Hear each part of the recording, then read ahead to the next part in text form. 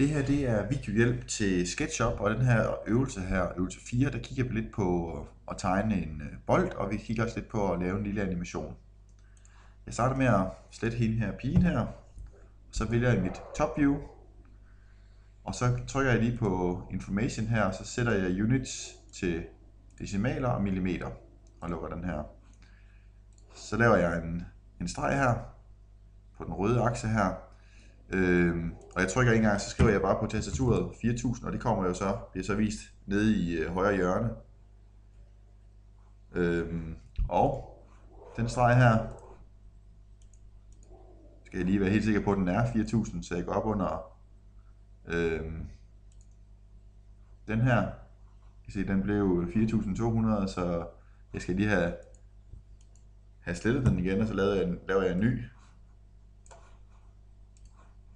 streg her. Sådan der. 4000 blev den. Tester lige en gang til. Og jeg ser, denne gang bliver den så 4000 mm. Så selekter jeg den. Vælger Rotate Tool her. Finder midten. Midpoint her. Den er lige lidt til højre for den grønne akse her. Trykker en gang. Og trykker en gang herude i enden. Og holder Ctrl nede. Kommer der plus, så laver jeg en kopi af den. Så har jeg to. Ser jeg lige min tegning her i perspektiv view. Øhm, og så tegner jeg en øh, ark på den her. Sådan her, og den trækker op i den blå akse her. Og den skal så have en radius på 2000. Sådan her. Og jeg tegner også en nedenunder her. Den skal igen også følge den blå linje her skriver 2000 igen, og trykker enter. Og så tegner jeg endnu en ark her. På den sidste linje her, derfra, og ud til enden, og trækker op her igen, den blå akse, og den skal også være 2000. Så selekter jeg linjen hele vejen rundt her, den her linje her, holder shift nede, for jeg skal selekte nogle flere elementer her. Og tester lige her, om jeg har fået det hele med. Det har jeg.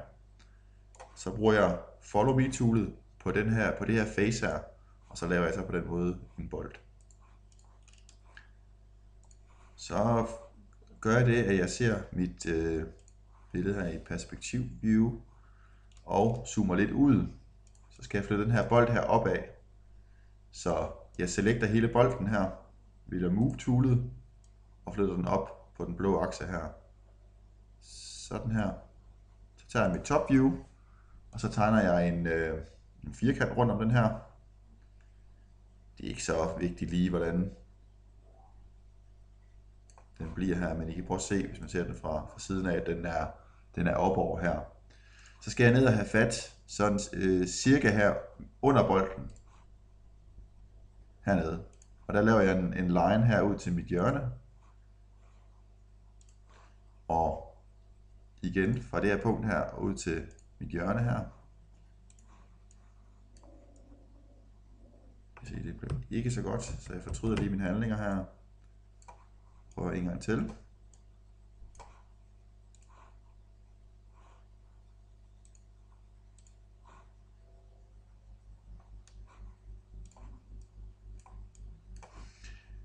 Jeg prøver at ramme sådan cirka inde under midten her, derfra. Hvis det er, jeg skal have flyttet mit view, når jeg skal, når jeg skal øhm, tegne videre, så kan jeg godt gå ned og vælge et tool hernede, rotere mit view, og så gå op og vælge mit line tool, så kan det stadig huske, at den holder fast der. Så kan jeg tegne ud til mit hjørne her. Lige snart jeg vælger et, et andet værktøj end de her rotationsværktøjer, så kan den ikke huske det mere. Men den her gang, det ser det nogenlunde fornuftigt ud.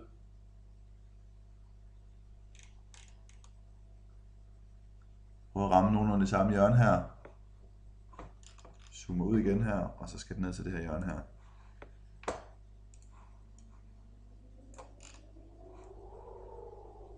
Og igen her. Zoomer ind her. Zoomer ud igen. Ændrer mit view her. Flytter eventuelt på det her. Roterer mit view. Vælger line toolet igen. Og så husker den det. Så mangler jeg så kun en. Zoomer ind her igen. Vælger mit line tool. Zoomer ud igen. Vælger lige min hånd her. Vælger line tool. Og lukker den her figur her. Det næste jeg gør her, det er at jeg skal have lavet en, en animation af det her. Øhm, og det gør jeg heroppe under View, så er det en, der hedder animation her, og så kan jeg sige Add Scene. Lige snart jeg har addet den første scene, så kan jeg øh, add dem herop. Så her kan jeg bare trykke Add Scenes. Man kan sige, øh, her kan jeg flytte mit øh, view. Det er ikke sådan, at jeg kan flytte elementer i min animation her, men jeg kan flytte øh, mit kamera view. Så øh, hvis jeg i det første i det første view vil have centreret den her og måske zoomet lidt ud her, og så kan jeg så gå hen til min scene 2. Og der kan jeg så sige, at der skal den så zoomes. Der skal jeg zoome lidt mere ind på mit billede her. Sådan her. Og så kan jeg højreklikke her, og så kan jeg sige Add Scenes. Og så scene 3, der kunne det være, at øh, jeg skal have den øh, roteret lidt her. Sådan her. Og jeg tilføjer en scene mere. I den her scene vil jeg rotere rundt her. Jeg tilføjer en mere her. Sådan her. Så kan jeg sige øh, play animationen her.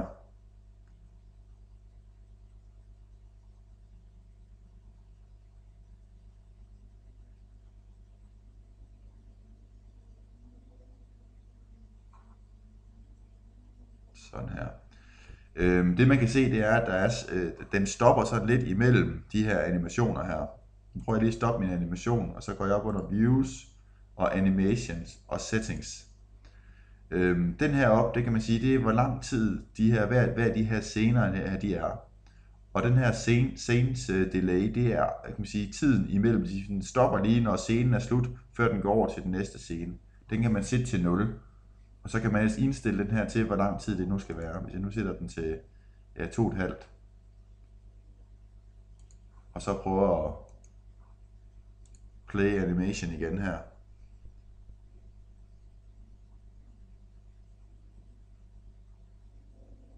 Så vil den hoppe direkte fra den ene animation over i den anden animation. Og så tilbage igen. Her kan man tilføje så mange scener, man vil, og man kan også øh, gøre det, at man øh, sletter de her scener, hvis man, øh, øh, hvis man synes, at, at, at nogle af dem bliver forkert, eller øh, det, det fungerede ikke rigtigt. Når man er færdig, så går man op under filer, og så skal man ind under export, og så skal man sige export animation her.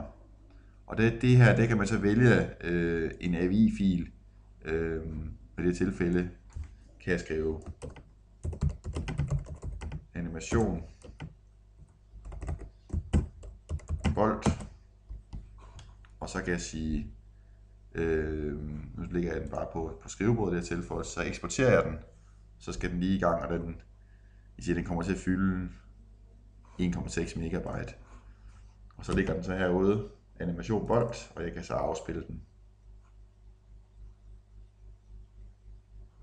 Det.